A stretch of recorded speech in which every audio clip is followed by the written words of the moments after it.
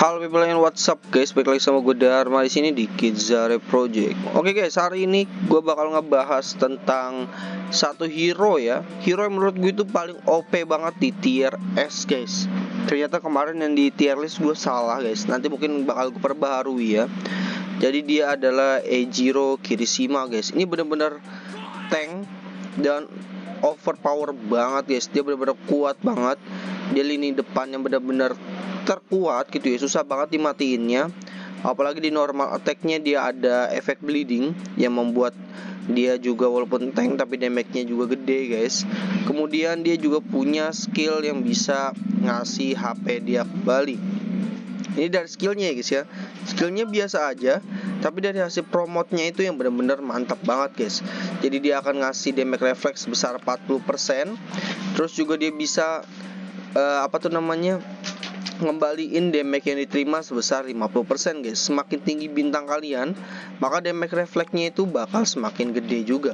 Maksimal itu bisa 120% guys. Ini bener-bener tank idaman banget ya. Jadi kalau kalian buat Kirashima bener-bener sangat-sangat bagus banget guys. Ini untuk Kirashima Dia bagusnya di tank di lini depan paling depan. Gue sangat merekomendasikan uh, Kirishima ini untuk dibuild secara maksimal guys. Terus kalau untuk gear ya gear semaksimal mungkin aja ya. Pokoknya maksimal. Ininya Ejiro kostumnya jangan lupa dimaksimalin juga biar ada tambahan damage guys. Ini untuk eksklusif skillnya. Ejiro menerima damage di awal 50% untuk mengasih satu stack bleeding true damage sebesar 80% dari attack Kirishima ini juga benar-benar bagus banget ya. Jadi semakin sering dia di attack maka ada efek uh, itunya bleedingnya ya. Benar-benar bagus banget. Untuk kristal saat gue rekomendasiin kalian tergantung kalian ya mau nahan atau mau attack. Kalau nahan kalian bisa pakai yang ini yang bisa nambah HP bonus. Kalau kalian bisa lihat di sini ada efeknya jadi nambah HP bonus 20% terus juga nambah recovery crit juga di berkurang sebesar 60% ini benar-benar bagus banget ya guys ya. Kalau enggak ya kalian bisa pakai yang attack.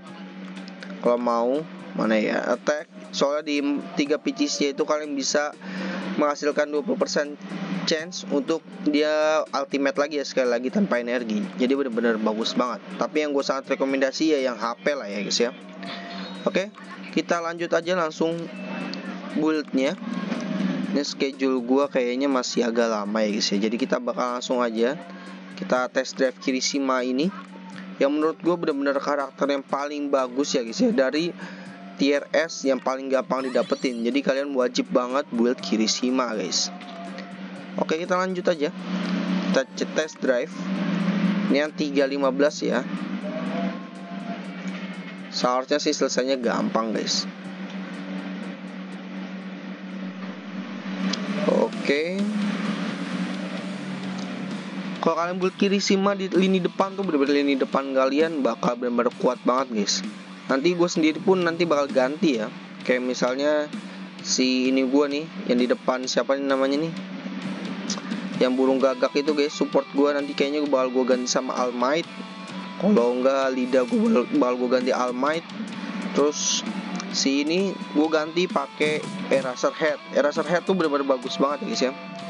Jadi ketimbang si ini Grand Torino yang skillnya 15% doang chance untuk kenanya eraser head bener-bener lebih bagus guys. Yang pasti pastinya silent ya. Nah.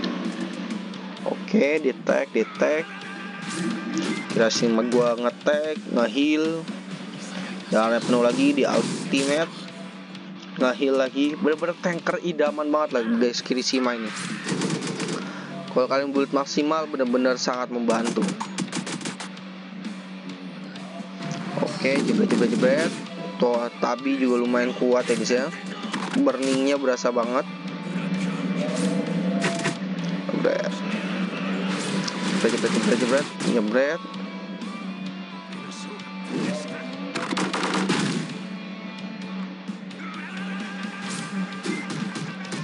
Oke okay, nice one. Kita skip aja. Oh kalah ya guys ya. Udah nggak kuat. Berarti gue harus leveling karakter gue dulu guys. Ini gue kemarin tadi habis gacha ya guys ya. Gacha terus gue dapat diamond 15.000 makanya diamond gue banyak banget. Ini ada 10.000 lagi. Hoki banget guys. Gue dapat dari gacha ini.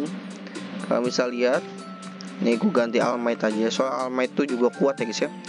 Ini dapat yang ini gue guys nih tadi. Chance-nya 0,02% gila hoki banget ya guys ya. Dapat 15.000 anjay. Jadinya makanya gue kaya banget. Kita bakal coba sekali requit. Mumpung ada 8 kayak aja hoki ya. Oke lumayan. Dapat satu kuning. Kita cek dulu tulisannya dapat apa. Soto Todoroki ya. Kurang terlalu bagus guys kalau dapat Todoroki tuh kurang terlalu bagus apalagi yang hijau gini benar-benar kurang banget ya. Sebenarnya tuh chance dapatnya apa aja sih kalau yang di sini ya? Kayaknya yang dapatnya yang itu itu terus guys. Nggak pernah dapat yang lain ya. Ini nggak pernah dapat ini ini ini ini nggak pernah guys. Soto yang kuning pun juga nggak pernah guys. Pasti hijau terus ya yang bawa-bawa terus ya. Oke kita langsung naik level aja. Lumayan lah ya. Soto Todoroki Belum bisa lagi. Oke. Ini untuk Soto Todoroki. Nah kalau kalian mau farming yang tadi tuh itemnya kalian bisa farming di sini guys. Di koridor time. Gue sih lebih suka yang swift ya. Ini kalau hoki bisa dapat yang kuning sebenarnya. Cuma kita coba aja. Kalau nggak kuat kita blitz saja guys.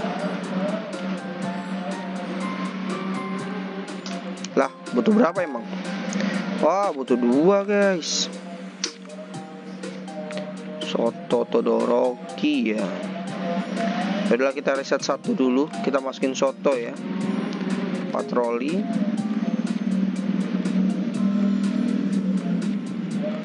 Pokoknya kalian kalau build si Kirishima tuh bener-bener mantep banget guys. Wajib banget di build yang itu. Hmm, Nanti kita bakal farming dulu ya. Start dulu Agensi training Support training apa nih? Ini apa ya?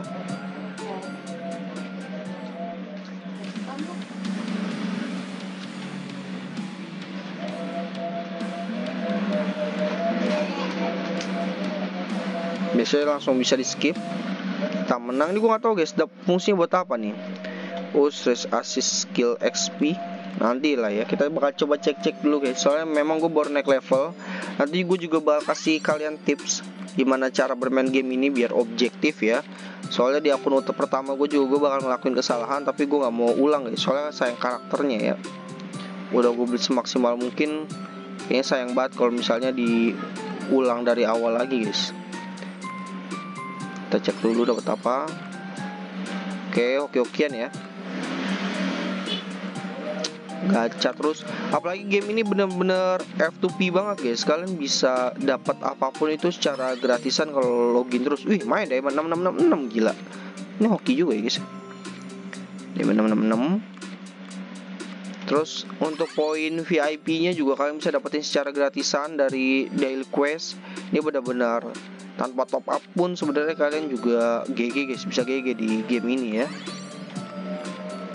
jadi nggak usah nggak nggak terlalu bergantung sama top up guys. Game ini benar-benar bagus banget lah kalau untuk kalian mainin. Ini paling ada subprime yang ini. Dua hari lagi untuk dapetin almight ya. Nanti kita kayaknya nyari almight lah. Oke mungkin sekian aja konten gue kali ini. Gue cuman pengen ngebahas ini ya Enjiro ini bener-bener bagus banget guys. Kalian wajib banget di build. Ini aja gue tinggal dapat satu dua lagi lah ya maka dia lebih bakal lebih kuat lagi. Oke mungkin sekian untuk konten kali ini. Jangan lupa di like dan di subscribe dan see you di next video. Goodbye